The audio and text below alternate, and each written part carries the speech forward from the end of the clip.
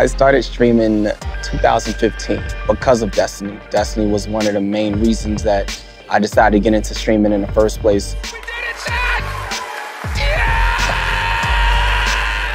Met a lot of amazing friends in the community that got me into the streaming environment. I knew nothing about it at first. I didn't think I was going to be able to integrate my past dream, which was the passion for music, and put that into streaming and gaming.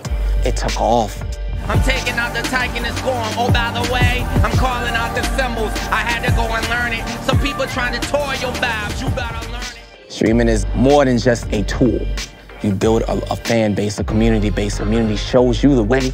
My fan base is the main reason that I'm in this situation I'm in today. I think I'm ready. I've been in studios, but this one right here by far is the most amazing thing. It's putting me into the setting of the Destiny vibe and giving me my energy. Welcome to Destiny 2. You pick and choose. Got a warlock, a titan, a hunter that's coming through, huh?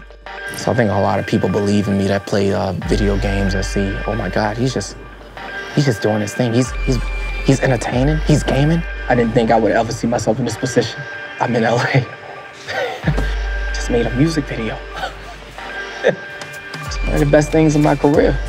I'm making music and playing my favorite game, Destiny. I got my father to thank for that.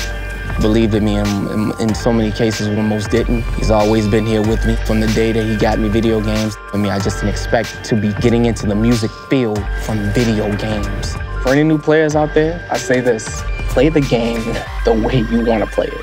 Pick a guardian, enjoy yourself, make friends, have fun.